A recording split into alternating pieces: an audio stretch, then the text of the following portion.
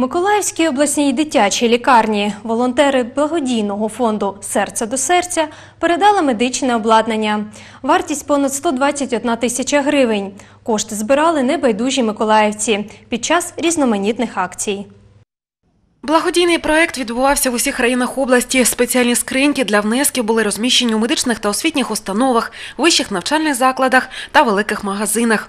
За кожну гривню волонтери роздавали маленькі паперові сердечки, як символ небайдужості до чужої біди.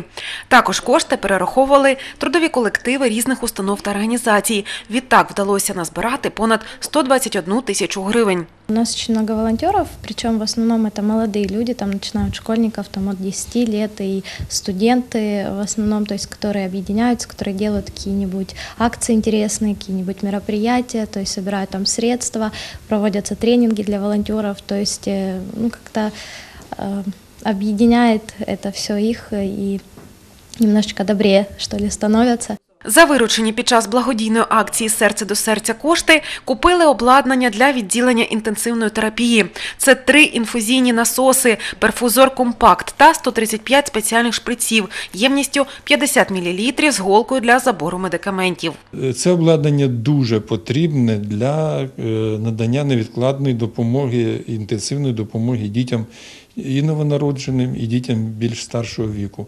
Бо це обладнання єдине, яке е, може е, дуже е, точно за визначений час з відповідною швидкістю вводити дитині лікарські засоби.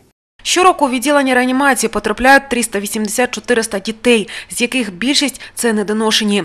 Для останніх дуже потрібне таке обладнання, яке допомагатиме харчувати немовлят через укол у вену. Також спеціальне електронне начиння контролює дозу необхідних ліків. Кожна капля, е, яка попадає в організм маленької дитини, повинна дозуватися.